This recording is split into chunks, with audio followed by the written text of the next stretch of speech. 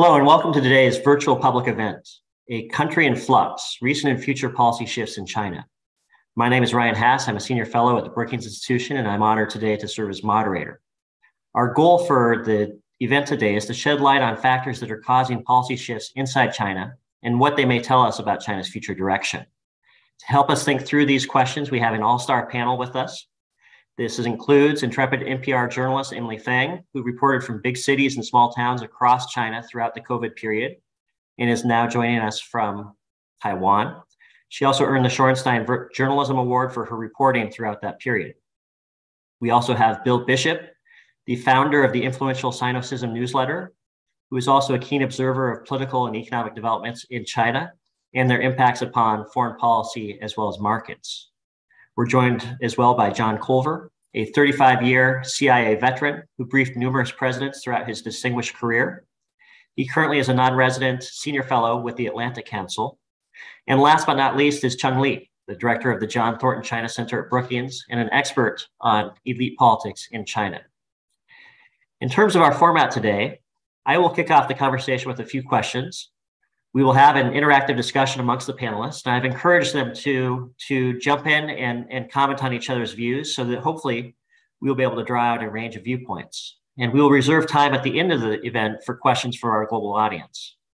If any of you in our audience would like to pose a question to this panel, please email events at brookings.edu or contact us on Twitter at BrookingsFP using the hashtag ChinaPolitics. So to start, I'd like to pose a question to all of us on the panel. Following the party congress, the conventional wisdom seemed to be that Xi Jinping was in a very strong position. More recently, following uh, the reversal of the zero COVID policy and loosening of re- regulations on the property and technology sectors, there have been some that have argued that, that Xi has had to bend to forces beyond his will. So I'd like to get your sense. How do you evaluate Xi Jinping's standing today? Perhaps we could start with Bill, uh, followed by Emily, John, and then Cheng. I think you're on mute. Okay. Three years of Zoom, and I'm just figuring it out. Uh, sorry about that. Uh, good morning, everyone. Thanks for having me on the panel, Ryan. Um, so, uh, how do we evaluate the? Well, I mean, Xi won uh, he's a three-peat president as of this morning uh, with a unanimous vote. Um, I think uh, obviously no one was surprised by that. Um, I, I, think, you know, we look back at the the 20th Party Congress last October, where um, it really looks like Xi effectively got through the Central Committee on up really his choices for personnel, and so I think going forward um, we're only just starting to see how that's going to play out through the system. But but generally, I think he's quite uh, in quite a strong position. I also think that there was a lot of weirdness between the party congress and now. Obviously, we had the the U-turn on dynamic zero COVID, which was quite chaotic, and we still don't have a good answer of what happened. You also had the death of Jiang Zemin and the funeral in the mourning period, and so I think there's there's just some stuff that looked a little kind of off or wanky over the last three or four months that now as we get out of the two sessions i think we may start seeing a little more clarity that and my baseline scenario is that he's um, really there hasn't been a lot of pushback and there's not going to be and that this is uh, really the most powerful leader and certainly in our lifetimes. Yeah. Emily does that sound right to you? How, how do you think about Xi's current standing? I think it sounds about right. I think on paper he has all the important bases covered, and I think the way how smoothly two sessions has gone this year and the unanimous vote that you saw today, him taking the podium immediately after, making his pre-prepared speech, of course, because we knew what the outcome was going to be, was a very clear sign that he has all his ducks in order. But the downside to that is there have been a number of mistakes and he has to own all of them because he ultimately is the one who is in power. And if we see any policy uh, clarifications after two sessions is done to see where the country is going for this year at the very least, that ultimately is going to be attributed to Xi Jinping if it goes badly and if it goes well as well. I think zero COVID, the reversal of that was quite chaotic and people were not happy about it. But in some ways, it was the ultimate demonstration of power because he was able to flip a switch based on whatever reasons motivated that sudden change that turned an entire country around 180 degrees from a path it had been on for the last two and a half years. So, was it messy? Was it mistake? I think there's a lot of arguments to say yes and yes, but I think it was also an absolute demonstration of power. So, I wouldn't say that he's been weakened by all of this, but I think just we're seeing what the, the the natural downside is of consolidating so much power, which is you've also got to be ultimately the person, the face responsible for all of these actions. Yeah, John. Yeah, just to build off Emily, especially zero COVID policy was Xi Jinping's policy. There's no way he can be divorced from that. And I, will I'll tarnish the luster of my association with CIA by admitting I, I don't know the circumstances. I suspect that they lifted zero COVID because even before the party Congress, it was demonstrably failing. Um, and so there was no point. Uh, it became a question of just ripping off the band aid um, and dealing with the aftermath. Yeah, but so on one hand, I'll echo what everyone else has said. The good news for Xi is he's fully in charge. He he he can rival Mao Zedong for the awesomeness and totality of his of his control. Uh, on the downside for Xi, things are not great. You know, I mean, you could go through the whole litany that I was mentioned, um, and add in the the economy, and then especially the state of you know bilateral relations with the United States and increasingly with Europe, um, because in part of the war in Ukraine and China's support, at least vocally, for Russia. Um, so you're in charge, but the ship is heading toward the shoals, perhaps, and uh, you may you may not want to be the captain at this juncture. Cheng? Well, before uh, responding to this question, I would like to uh, express my appreciation uh, to the fellow panelists, Emily, Bill, and John, for attending this Brookings event. I have learned a great deal over many years from your writings, especially your perspectives that differ from mine. I'm a privilege to be on the same panel with you all. Now, Ryan, for your, uh, to your important essential question, I will say that I hold the conventional view that Xi Jinping remains a very strong position, just like the, the three other panelists observe. Just like the seven member of Politburo Standing Committee, Xi Jinping and his protege occupied six seats, plus the seventh, Wang Huning, is like-minded confident the new state council, which will be announced in a day, is dominated by his longtime proteges, notably the, uh, his former chief of staff, uh, uh, Li, Li Qiang and Ding Xuexiang, will serve as a uh, you know, premier and executive vice premier to two top positions. And his friend for 40 years, He Lifeng, will serve as the financial vice minister. So I don't see any contrasting signs at all. Now, personnel is policy, and this new team in the State Council, uh, along with the Politburo, will be well positioned to carry out Xi Jinping's agenda. Now, this includes uh, some necessary policy adjustments that um, you know our program, your uh, Ryan, you described so well, uh, which in a way can help address what Xi Jinping calls a dangerous storm. I mean, he probably noticed all the challenges, domestic and uh, and international, as other panelists uh, pointed out. So sometimes we will expect some of the adjustment from that team. Emily, you touched upon the uh, zero COVID protests several months ago. And I just want to circle back to that to ask, with the benefit of a few months of hindsight, how does this look to you? Was it a, a significant event? Do you think it had a major effect upon uh, China's policy decision to reverse its zero COVID policies? Or was it more just sort of a traditional pattern of pressure release inside Chinese society? So I, I, noticed some English translations of the white paper movement translated it as the A4 revolution. I don't think it's quite that big of a deal, but I think it's definitely much more than a protest. And yes, after a couple of months of hindsight, I think it's still a, quite of a big of a deal. Not because I think it was the ultimate push that changed dynamic zero COVID policy. I think it was one of the reasons why Xi Jinping and his coterie of advisors probably backed down. I think it really had to do more with the fact that numbers were already climbing.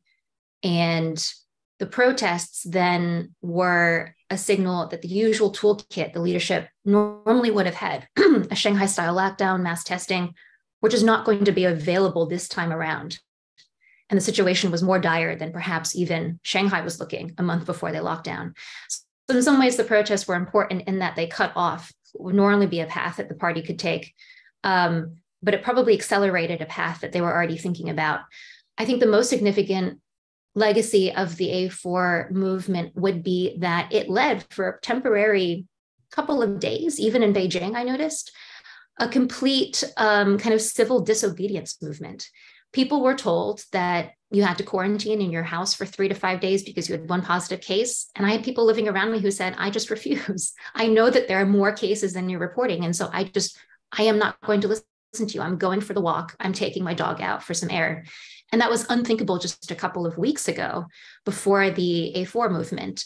And this was happening in the political capital in Beijing. So I think that it created a brief moment where people some people i mean it was mostly young people were participating on the very the two nights of the a4 movement created a moment where they might not have seen experienced a free internet they might not have been alive during tiananmen but they had these couple of days where they could sense that some limited civil disobe- disobedience not against the party but against zero covid rules was possible. And i don't know how that kind of political uh, experience consciousness might embed itself and, and manifest years later.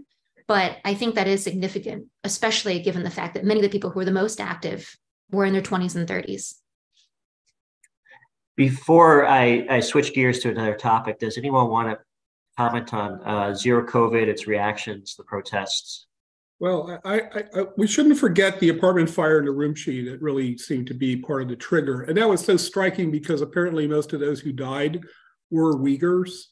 And normally one might not expect a lot of sympathy with the dominant Han population, but it resonated because they could all see that happening, especially in urban areas, that zero COVID could interfere with first responders and fire department responding to uh, you know a, a, tragedy in a given location. So it really resonated um, and amplified it. Um, I'd also note that while um, China seemed the regime seemed to have limited ability to control these protests.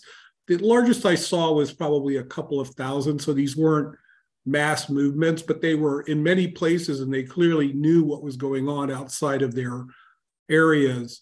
Um, you know, that's a pretty rigorous surveillance state. Their inability to shut that down more rapidly was telling.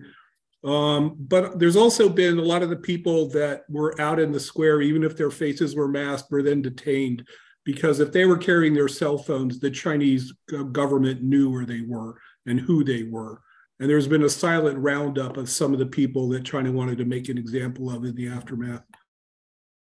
Um, I don't have any different views on the on the other panelists. Uh, you know the critique about uh, COVID. I do have a question for Bill. You mentioned about the Jiang Zemin's memorial service. How that links to the you know, your overview. Could you elaborate your, you single out that one as well, along with COVID uh, lockdown? Sure. Yeah. sure. I mean, I, I it, it, was, I, I think, you know, the question of, you know, coming out of the party Congress, Jiang Zemin was, was, I assume they knew he was in very poor health. There were lots of rumors before it was officially announced he was, he was dead. So, you know, trying to figure out the timing. I also think when you have that, you know, the sort of the general, system goes into mourning mode where they they sort of pull back on you know pull back on the sort of Xi hagiography. I think they I think there was an expectation. I certainly had an expectation of a pretty pretty robust rollout of a lot more um, sort of propaganda around Xi as either the people's leader, leader or the navigator or whatever. And I think that was all. It was. Sort. It feels like it was more. Maybe it didn't happen, but it also I think is quite possibly was deferred. And then the Jiang Zemin funeral, it also obviously coincided with the, as John had said, I think it really is the case that Omicron had broken the barriers at and it was done. And so they, it was a recognition of, of reality. And then you had the protests. And so it just, it ended up, I think, being a very, um, dicey couple of months. I don't think that Jiang Zemin's death or the sort of funeral arrangements had any sort of pressure on Xi Jinping in terms of what his sort of consolidation of power.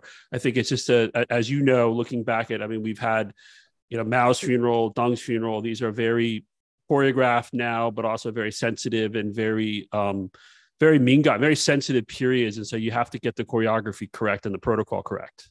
Mm-hmm. Hey, Ryan, if I could. Sure. I, I think that uh, the incident where Hu Jintao was escorted out of the party congress, followed by the death of Jiang Zemin, I, think it, it, symbolically, you know, really had an impact. Where the two figures who preceded Xi, um, you know, suddenly were clearly uh, one removed physically and permanently by natural causes, but the other then, you know, escorted out of the center of policy of the party.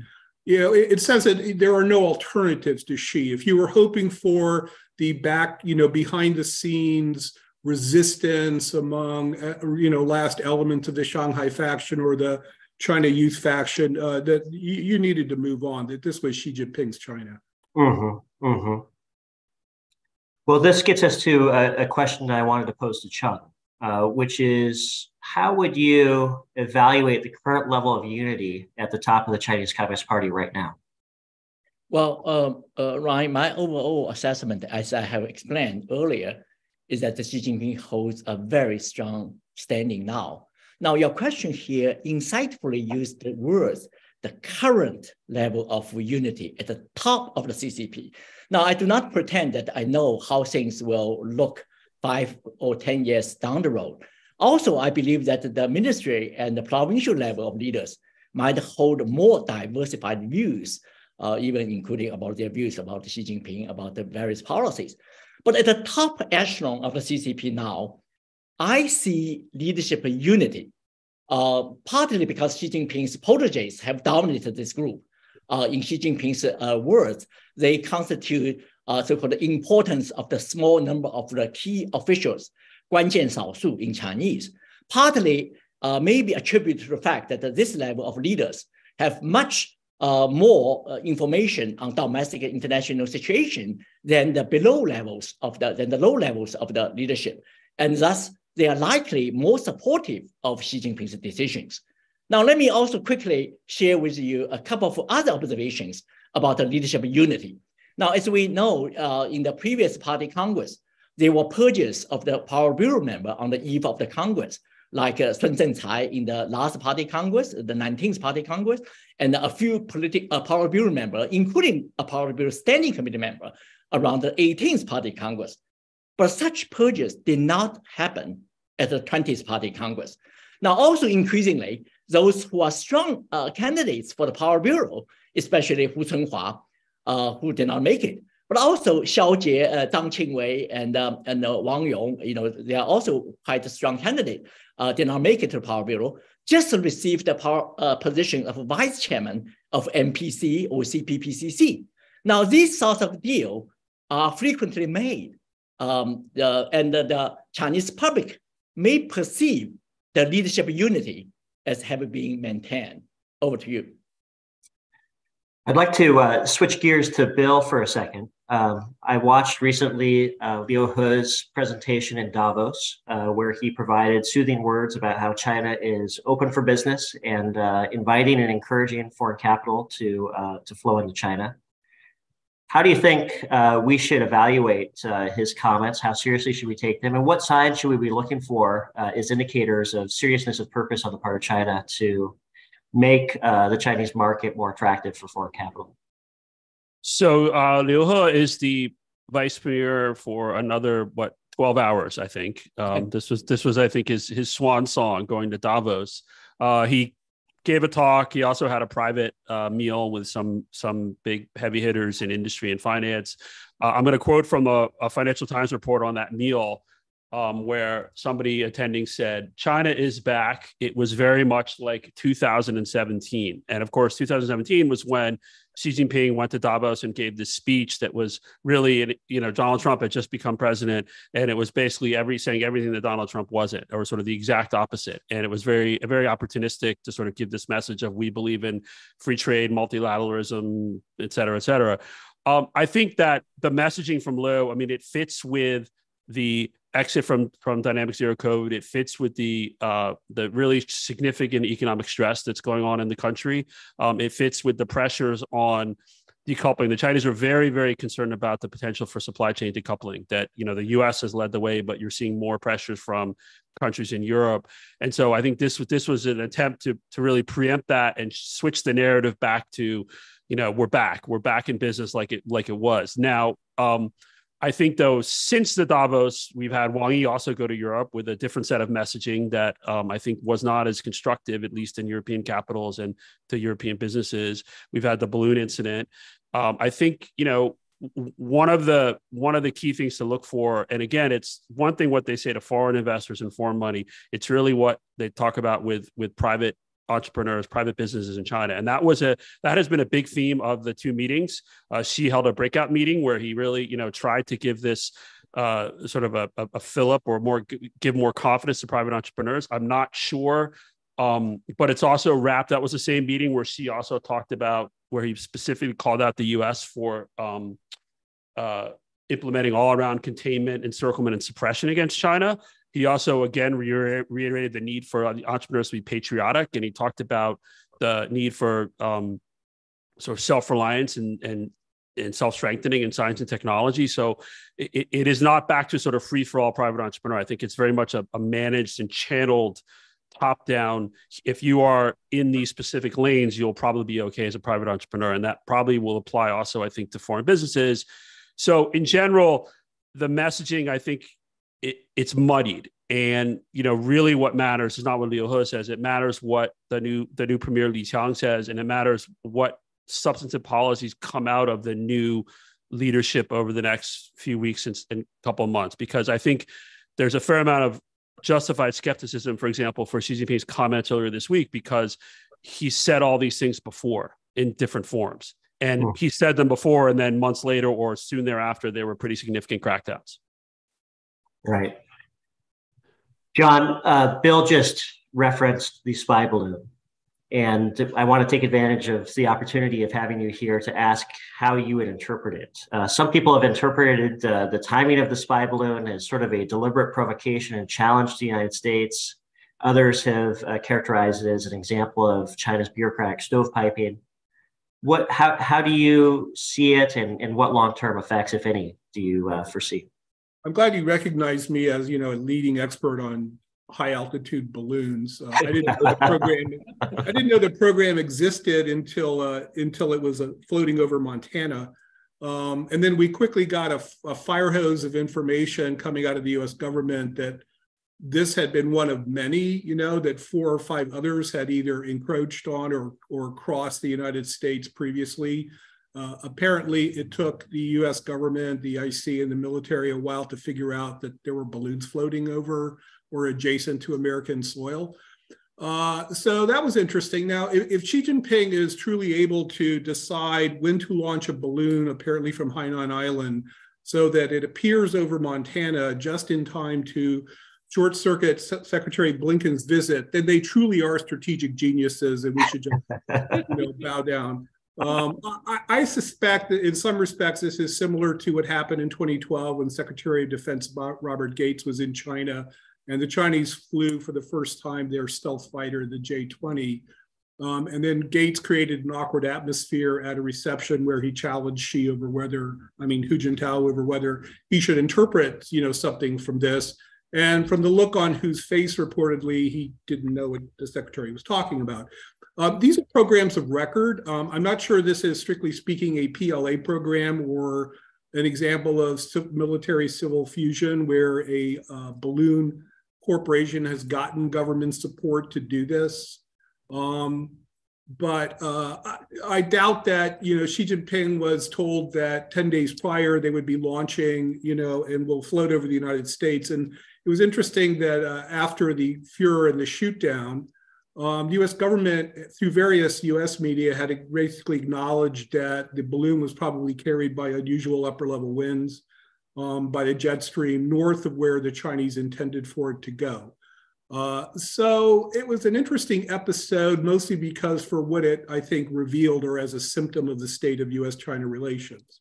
You know that that this alone could derail what was supposed to be the key Secretary of State visit to continue the reset that Biden and Xi announced at Bali um, at the G20, and then they were going to move forward. You know, the U.S. is hosting APEC, so um, Xi Jinping, in all likelihood, will be visiting the United States later this year. And so, ideally, what both sides want is for an agenda to be hammered out so that there can be, you know, a mutually productive meeting, at least one that does no damage.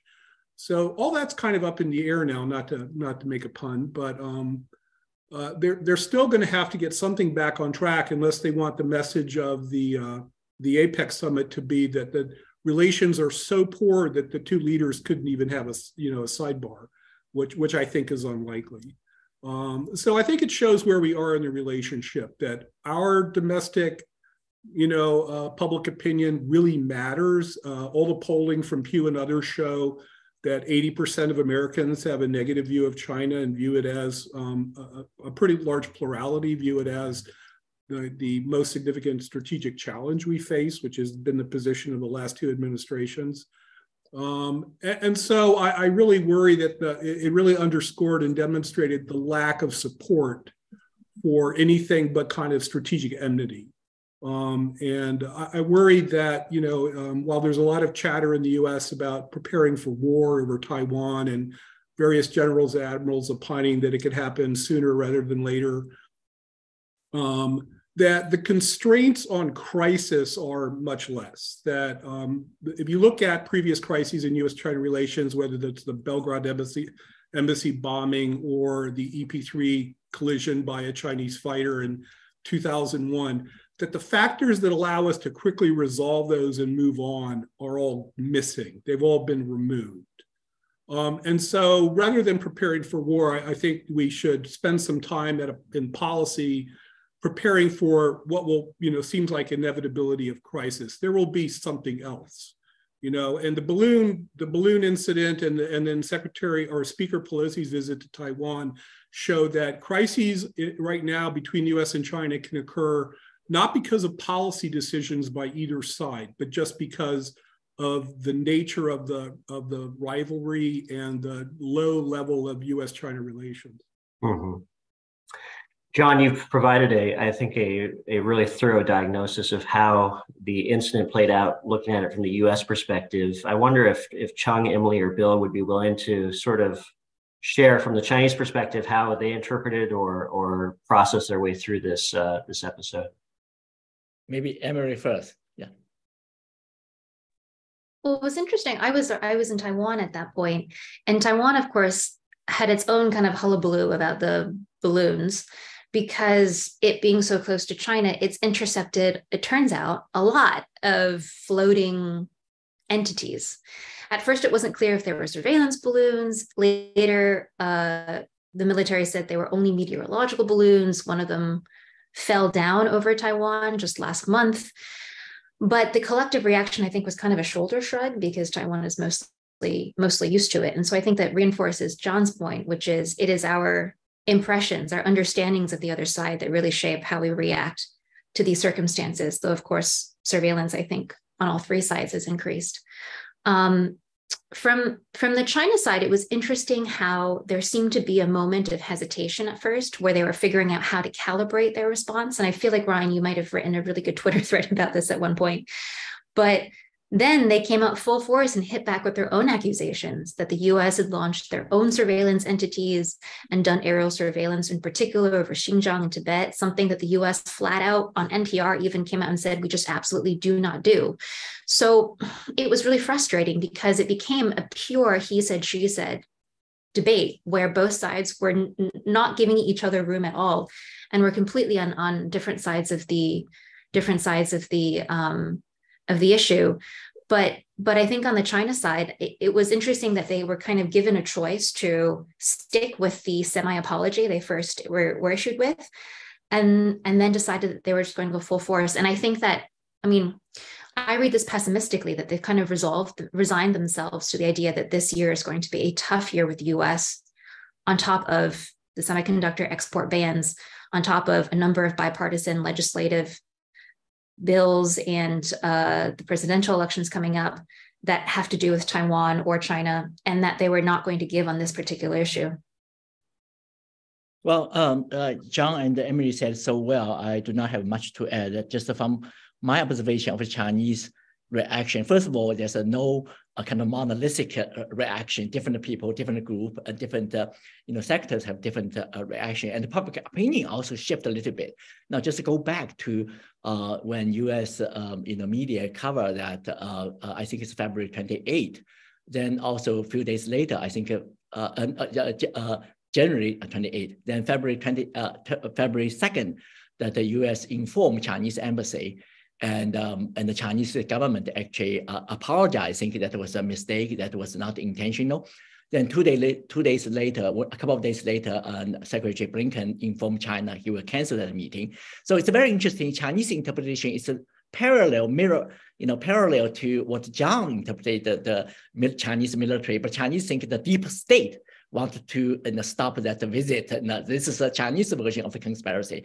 But the, the late what happened later on, especially you, when you shoot the balloon, the public opinion shifted a little bit. Previously, it's more neutral or sometimes even criticize the Chinese government. But then they think this is uh, again, it's reflecting U.S. bully and etc. So as Emily said so well, this reaction nationalism is on the rise. So that's that's the, the, the again the Chinese reaction. But I think it's a it's still not a definitive. Uh, again, I still observe uh, that uh, uh, many people have different views about uh, why why um, you know China um, uh, should should not uh, even do further to explain to provide evidence or if it's really it's a spy balloon, China should do more and etc. So again, it's different people have different view. But my, my worry is this kind of conspiracy theories are reinforced and both sides are very very tough on, on the other side. So that's it's added to what John said early on. There's no mechanism, more uh, care, more other uh, uh, other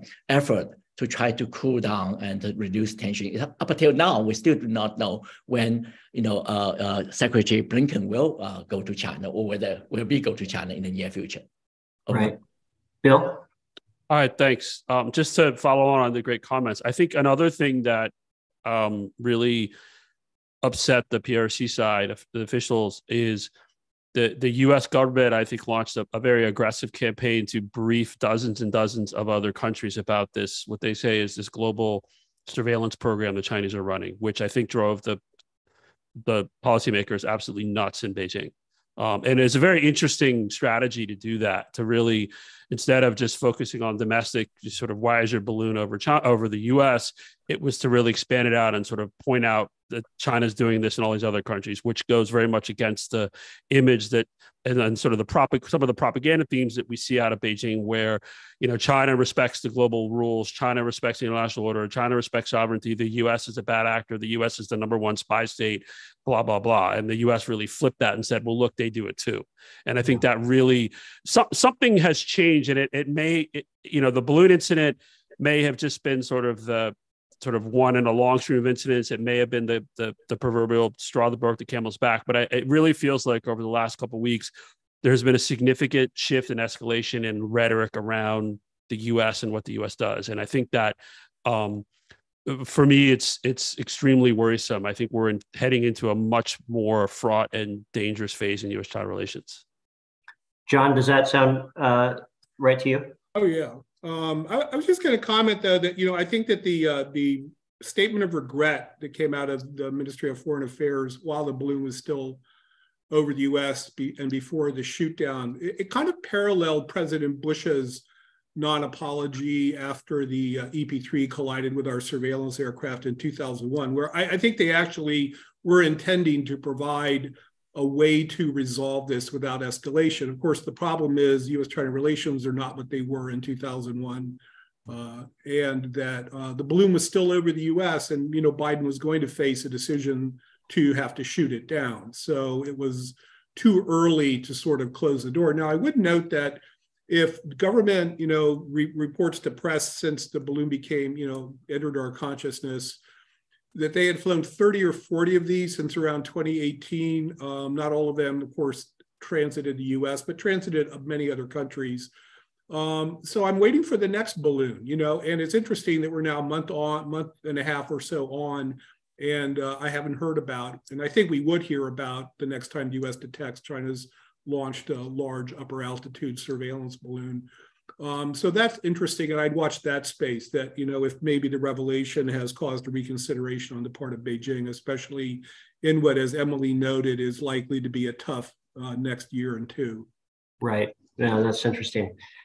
Uh, I, would like to transition us briefly to another topic uh, that we're living through in real time, which is the Lianghui, or the two legislative sessions which are taking place in Beijing and are, are going to conclude fairly soon. If you were a headline writer uh, right now, what headline would you use to describe uh, what we're seeing coming out of uh, the Lianghui? And, and what do you think it tells us, sort of on a forward looking basis, about uh, the direction of Chinese politics? Um, Emily, can we start with you and then uh, we'll work way around to Bill, John, and Cheng? Sure, I'll be brief because to be honest, this has never been my forte, and I read people like Cheng Li to figure out what's going on. I, I think this year for me, the theme has been restructure and realign. Restructure, obviously, because of the the ways that important ministries like industry and technology have been restructured, but also realigning basically the entire state apparatus to fit existing priorities that have become now the number one, two, three issues. Things like technological resilience, reshoring supply chains, kind of the same issues that that we're talking about right now in the US, uh, strengthening financial oversight, making sure you're upgrading policies to oversee new types of financial transactions and data regulations in um, our high tech age. Of course, we just have to see what uh, whether or not these priorities are actually materialized on the ground. You know, I'm skeptical, for example, that cutting five percent of your civil service and cutting salaries up to a, a you know fifty percent in some cases is going to help morale, um, especially when you're increasing regulation so much. But um, you're kind of seeing the entire state apparatus realign itself, which is which is interesting. Yeah, Bill. Um, so I, I, agree with Emily. I think the the restructure realign is an interesting way to put it. I think that um, the other things to look at and and and some of these themes there there's continuity with um, 2018 there's also obviously a lot of continuity with the 20th party congress is what you're seeing again is this sort of continuing um, sort of party eating the state where um, you know and, and, we still don't know the full details on the restructuring because the party bits have not yet come out there was the second plenum the week before the two sessions but uh, there was a very short communique there should be a longer decision document with more details probably early next week um, and I think we'll get a better sense of the, these news commissions. But it really is, I think, the theme of centralizing. The party is in command. The state the state is now just executing as opposed to really making policy. Um, I think also though, and this aligns with the themes out of the 20 party Congress, we see significant, you know, from just from Xi's comments to private businesses to um, the the Jiangsu delegation at the National People's Congress to the to the PLA and People's Armed Police delegations. You know, it's it's hardening the system. It's more security when it you know balancing security security and development, which means security gets gets a sort of a higher um, focus because it's been they, I think they see as security and development being economic uh, being out of balance. Um, it's again trouble tripling down on self-reliance, t- science and technology innovation, hardening the system for a very difficult period, both in terms of domestic problems, but I think really in terms of the international environment, specifically the relations with the US, but also, as, as, I think John said, also with Europe and the EU because of what's happening with in Ukraine and because of the way the Chinese are, you know, their straddle where they're neutral, but not really, um, I think is really very few people still believe that there's any sort of pretense of not really being on Putin's side in the war. John? it's hard to improve on Bill and Emily, but uh, yeah, secure security to the forefront. Um, I mean, the, some of the more overheated comments in some of the U.S. press is that this is a war cabinet. Think Cheng Li would agree that this is not a war cabinet, but it is a cabinet designed to um, really emphasize self, self, self-strengthening indigenous development, especially in high tech, because of the uh, decoupling actions of the United States in the technology realm over semiconductors and artificial intelligence, um, and, and, a need for you know really tightening the belt and preparing for even uh, tougher times ahead. You know that they, they may be getting a boom and a bounce coming out of zero COVID policy that's sort of a natural you know re-expansion of consumption and, and external trade but um, they, they know that you know the, the, most I think the most frequently cited word in Xi Jinping's speech at the party congress was struggle. Um, it's not the first time he's emphasized the concept, but he's doubling down. The previous, uh, you know, the the the three uh, fellow panelists said um, what they said are very very important. I I agree. I just wanted to look at the um, different perspective, more on the Chinese perspective. What's the message they wanted to send, and uh, uh, of course that we may or may not buy that. Now here's my headline: Xi Jinping and the Chinese leadership maintain that Beijing has a much better chance to generate social political stability, leadership unity, technological innovation or indigenous innovation, and the policy continuity, as Bill said, especially in terms of the common prosperity uh, in China. So compared to what lies on the horizon on the other side of the Pacific. Now that uh, message is certainly uh, could be disturbing for us, for United States. We do need to address uh, not only just by our rhetoric, but uh, by our own policy improvement to really improve, you know, our own is the best way to compete uh, with China. So our overall uh, goal for the uh, Biden administration is competition. If we really want a competition in all these areas, we need to address uh, China's messages. Again, of course, this is Chinese propaganda. This is Chinese objective, but they certainly not only target the Chinese uh, public, but also target other regions like ASEAN countries, like uh, Bill and uh, uh, and uh, John said, uh, you know, EU especially, and also countries in the South. So that's the message. That's the things I think that uh, for any strategic thinkers in this country need to think very seriously.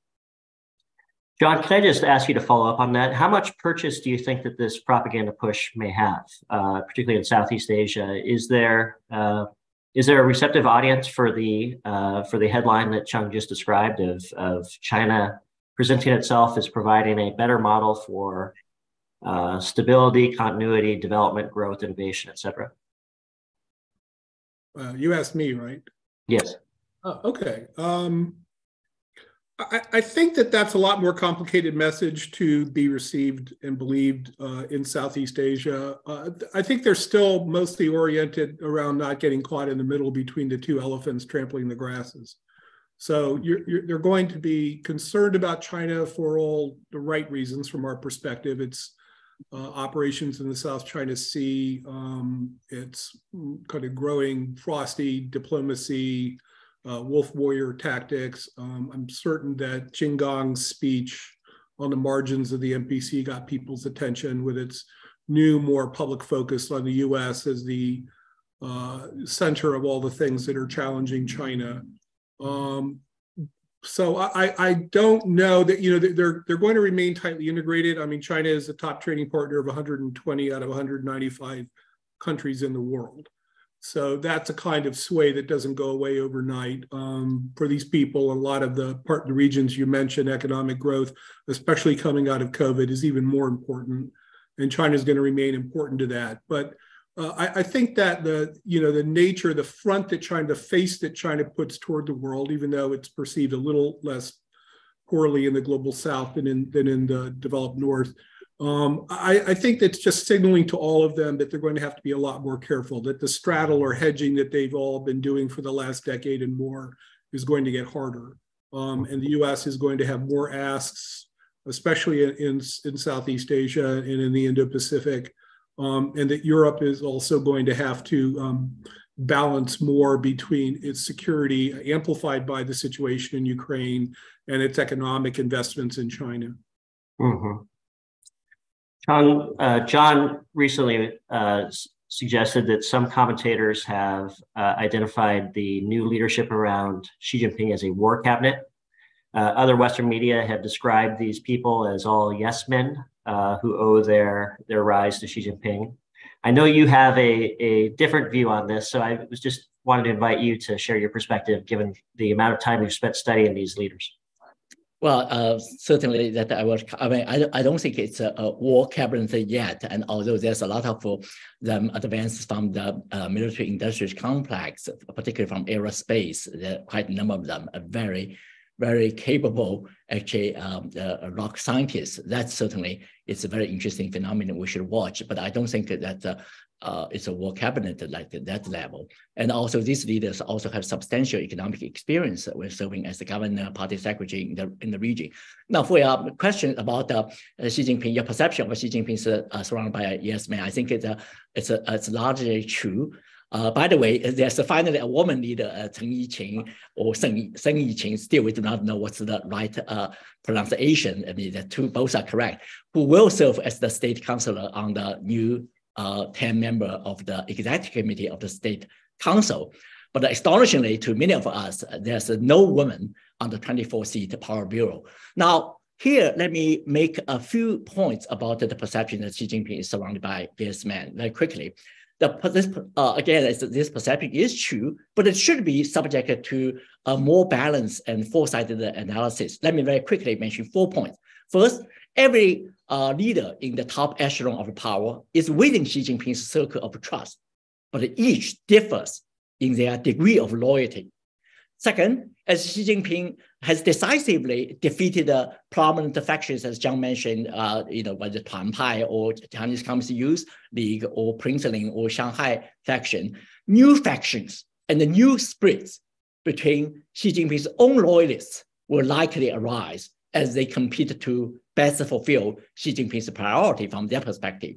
Now, thirdly, one may argue that the elite uh, recruitment in present-day China, while not primarily uh, driven by meritocracy, really uh, rarely or hardly allows incompetent officials to reach its highest uh, ranks, except a couple of uh, uh, exceptions. So generally, these are people are quite quite capable. And finally, it is premature to assume that Xi Jinping's proteges will not affect major changes in the years to come.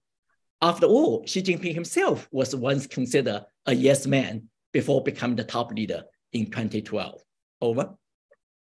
Thank you. John, John do you want to come in quickly? And then I have a, a question for Bill and as well. I, I, I, want to use the opportunity that to have this with, with Cheng Li. Is, is, is, I'll ask the group, but especially Cheng Li, is now that she is confident that the next uh, generation of leaders at the next level at the Politburo standing and the standing committee and the state council are his people. Will he have the opportunity or incentive now to return to an orderly leadership succession?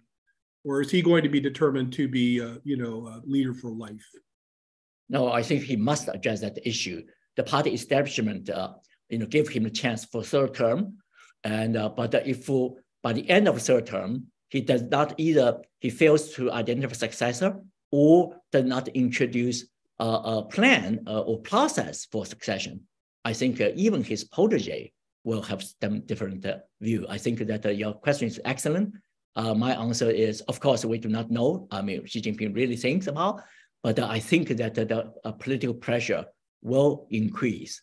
And I would like to hear Bill's uh, uh, response on that one. He is also really a leading expert in uh, elite politics in China. Bill? Thank you. Very, very kind. Uh, too kind. Nothing like you. Um, and by the way, uh, Cheng Li has a great primer on the um, two sessions, which I hope you'll put in the show notes. Um, it's very, very educational and useful.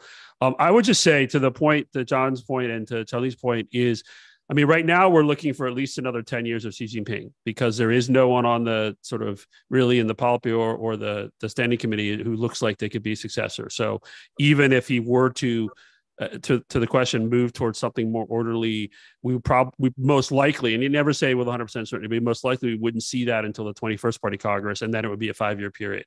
And now, of course, Xi Jinping is 10 years younger than President Joe Biden. So 10 years from today, he will be Joe Biden's age, and Joe Biden is still president and still functioning. So he isn't, I mean, there there is 10 years in that system. There's no reason to think he can't be fully a functioning leader in 10 years.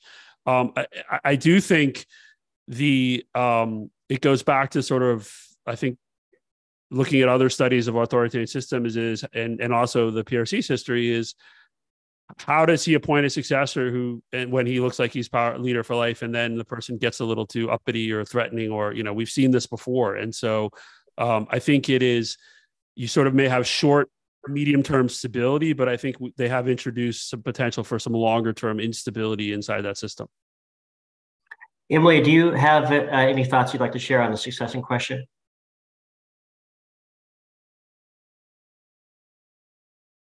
I think we're still still on mute. I my I, I apologize that I missed most of the conversation because my Wi-Fi was going in and out.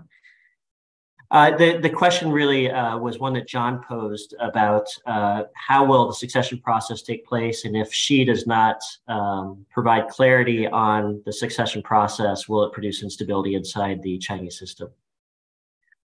I, I heard some of the tail end of what Bill was saying, and I, I think he's probably covered it. I really apologize about that. No, no problem. Um, Bill, I know that it's impossible for us to get inside Xi Jinping's head, um, but I'm going to ask the impossible. Uh, when you sort of, what is your mental map of what keeps Xi Jinping up at night or the Chinese leadership up at night? What issues do you think are sort of front of mind uh, for them and, and are, are occupying their attention? I, I, wish I knew the answer. I think a lot of us wish we knew the answer. Um, you know, in some ways, we can go to the um, to their map of the, the restructuring that they just announced for um, uh, uh, for the um, uh, at, at the two sessions, and you can look at sort of what their what their top issues are in terms of things around. I mean, they're looking, you know, rural rural revitalization, rural issues are huge for for Xi Jinping. Obviously, the U.S.-China relationship and things around science, technology, security.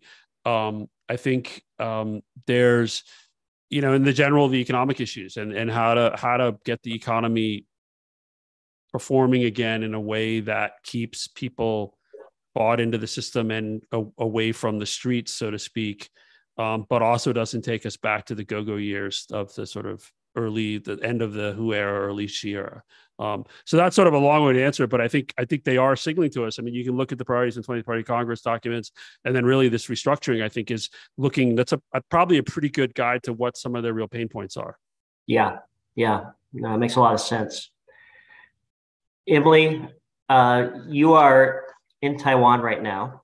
Oh, I think we just lost her. Emily, you're in Taiwan right now, and uh, people in Taiwan are watching the the zigs and zags of Chinese politics. How how do you think that they are interpreting it? Do they see it as generating unpredictability, uh, or a sign of pragmatism, something else? What's your sense? It is something that is absolutely dominating headlines here in Taiwan, and particularly because it's now a presidential campaign year. Just like the US, they're about to go into a presidential election in January. So, cross strait issues tend to be one of the primary at the forefront of presidential elections, unlike during local elections. I think what's really um, shocked Taiwan is the consolidation of power under Xi Jinping. And that was most evident here in the island during the party congress when Xi Jinping just had people escort Hu Jintao out.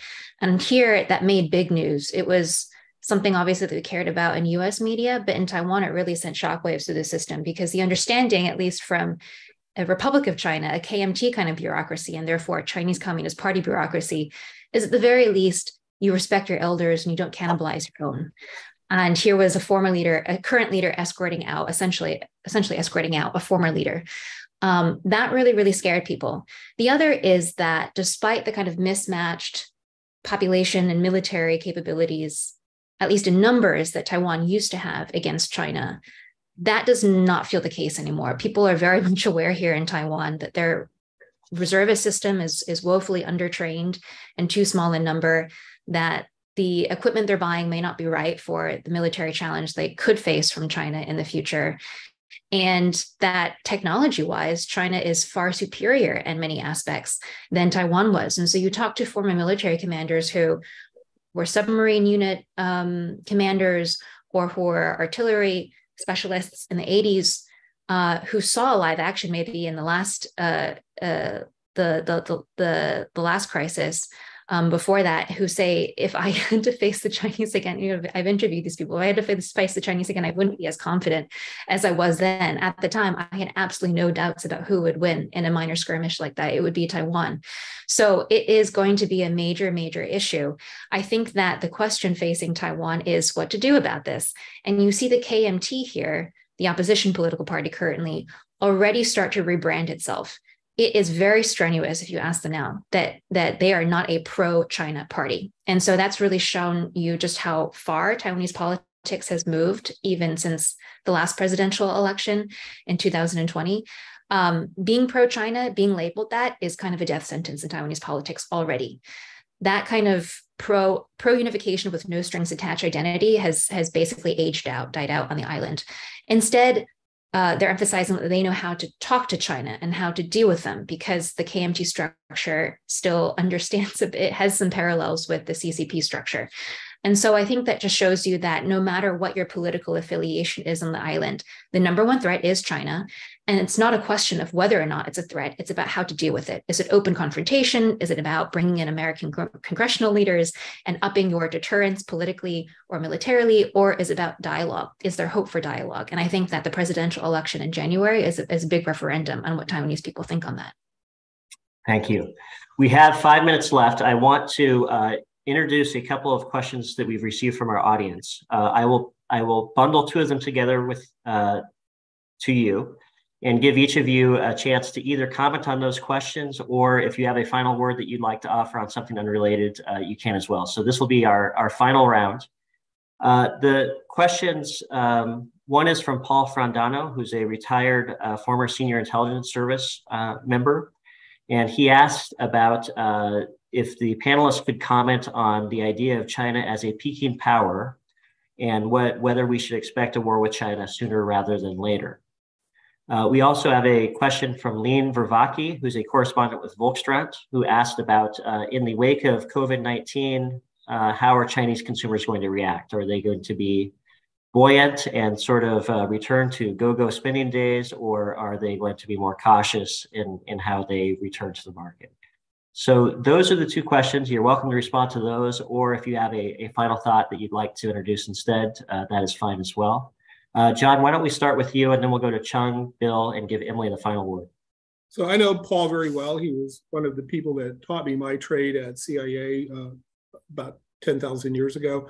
Um, yeah, this this idea of peaking power, there there's kind of a book up out, out on this by Hal Brands and uh, Michael um, Beckley. Yeah, uh, who the problem is it sort of is part of the drumbeat that you know for that war is likely and soon. And it's the idea that china you know is going to have to do something sooner rather than later because its relative power advantage um, with the united states or with taiwan is going to decline rather than continue to rise. Um, that's not how i read the chinese view of themselves. Um, I, I think they know they're in a great power rivalry of course um, of course, the U.S. is making some things harder uh, as part of as part of that dynamic. Um, they do face daunting demographic challenges, but um, I, I, don't think that's really going to shape policy or drive decisions over something like uh, conflict in the near term. Thank you, Cheng. Well, um, I think that we should really avoid two extreme. One is that uh, China becomes so powerful, so strong. This is, I think, is the current, uh, the prevailing mood. You know, uh, our tough policy towards China, not because of uh, our meaning U.S., uh, our arrogance, but largely because our fear, including legitimate fear or concern, anxieties. It's not because China's weakness, weaknesses, because China's strengths that we we hardly uh, faces this kind of challenges you know, since World War II. During the Cold, uh, Cold War, uh, Soviet Union was a military power, but China is really it's a kind of all comprehensive military, economic, technology, you name it. So there's a, a, such a concern. So I do not see that uh, uh, uh, on one hand, China will surpass the United States in the near future. No, it's impossible. I don't think a Chinese leader, I mean, are crazy enough to think that way. And um, unless uh, in the in the next uh, years, decades, U.S. make uh, you know a lot of lot of mistakes, I do not. I I I still strongly believe that we can fix some of the problem, and uh, uh, when time moves on. But at the same time, that I think more worried that we underestimate China. I think that uh, certainly certain corners of the of the of the country, maybe not the majority. I think that would be mistake. That China uh, despite all demographic challenges, because uh, and also despite the lack of legitimacy and the potential succession uh, problem, potential mistake on Taiwan, I think overall, I think that China still has a lot of things to continue to develop, and particularly the leadership em- common prosperity. I think it's common prosperity from Chinese view. It's not a bad idea, but it's uh, unfortunately mischaracterized by Chinese entrepreneurs and by foreign analysts uh, if they can deliver, it will stimulate China's engine of growth, namely uh, uh, investment, consumption, and foreign trade. Of course, during the past few years, that none of this is doing well, but uh, this probably can fix. Uh, so if that's the case, China, despite all the problems, all the challenges, will rebound. This is related with the other question about COVID. I think the revenge consumption is already underway. I see that there's some kind of positive growth rate for this year. Over. Bill? So I would just say that um, to the second part of the question about sort of is is war inevitable?